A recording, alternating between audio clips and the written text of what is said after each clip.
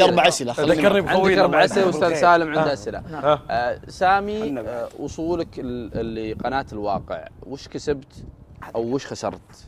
وش الشيء اللي يمكن تقول أنا سأكسبه مستقبلا؟ وش الشيء اللي ممكن. خسرته من أصدقاء أو آه أفكار أو أو أشياء معينة؟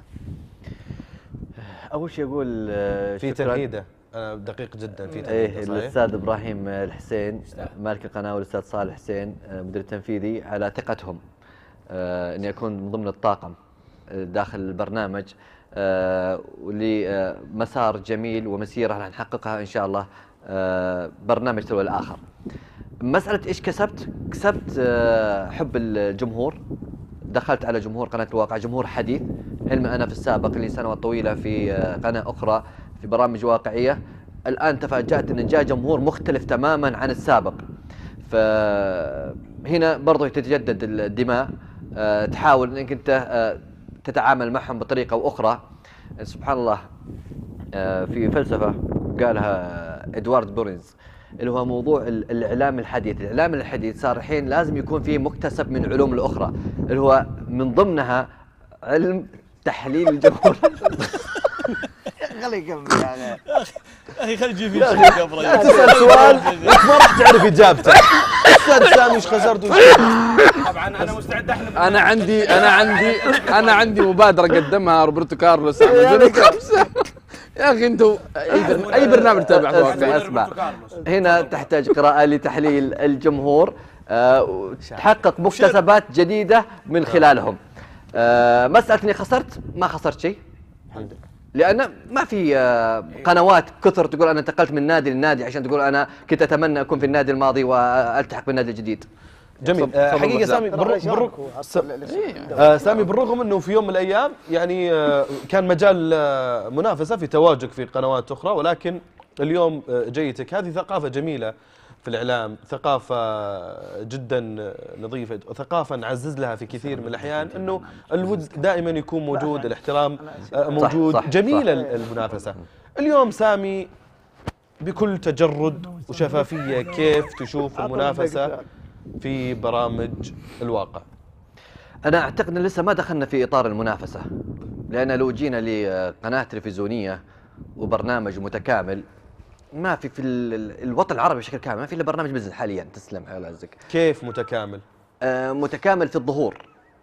متكامل آه، يحقق آه، آلية التواصل في عند آه، مجموعة منصات توصل للمشاهد. آه، حرام إنك أنت تظلم الطرف الآخر آه، وقد تكون آه، إمكانياته غير آه، كاملة. ثم تقول أنا أقارن فيها كمنافسة لا هذول أفضل وهذول مش أفضل. هنا من باب الظلم. ال- المنافسة آه، راح تكتمل في حال إذا أنت آه، كان الطرف الآخر حضوره نفس حضورك. يعني في حال تحققت الأركان كاملة يا سلام عليك. آه هنا صح ممكن تقيم. أنا لسه أنا قاعد أقول لك لسه ثقافة برامج تلفزيون الواقع مش آه دخيل على الوطن العلمي لأن ما أبي أدخل في الف- الفلسفة يعني الغامضة بس أنا مضطر إني أقولها. حقك. هو أنت إدوارد اللي قلته حق الهلال؟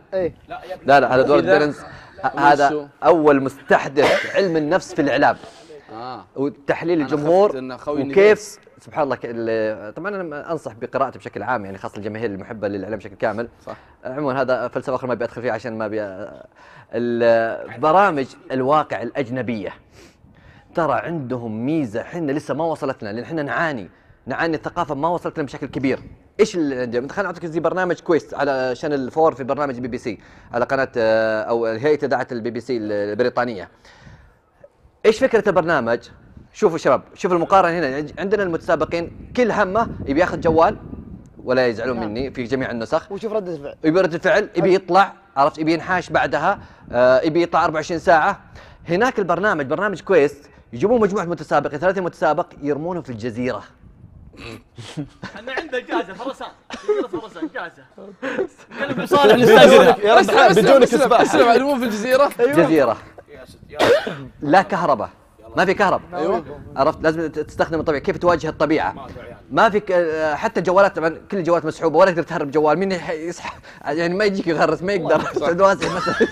سعود الواجه على طراد ما يجي. صح إيه. يعني سعود الواجد ما راح يجيك بقارب صعبة. لأنه أمواج ممكن يغرق. يعني ممكن يغرق. والله اليوم اثنين تلقاه في جزء امور يسولف في بطن القرش اين الدليل. قد راح أوصال. قد راح أوصال بطن القرش.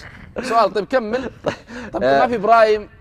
آه، إلا إلا في إبراهيمات. آه، في إبراهيمات. بس إن الموضوع ما فيه يعيش حياة واقعية مجبور حقيقية ولا يدري عن الجمهور حتى خروج بالساعة ما في بعد ثلاثة شهور. ما نبيها يا أبو يارب ما عندهم محمد عيسى. تكفى فكرة محمد عيسى هو اللي طلع.